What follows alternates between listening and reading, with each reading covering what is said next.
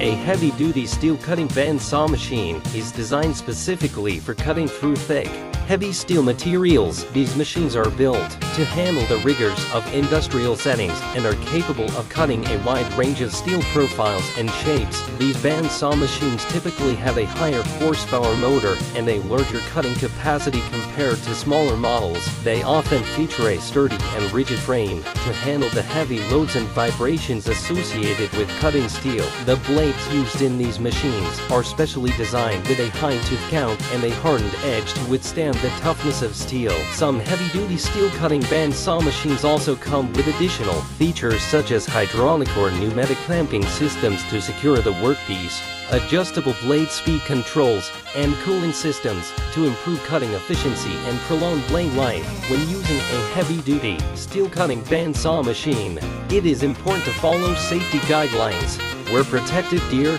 and ensure proper blade tension and lubrication for optimal performance and safety.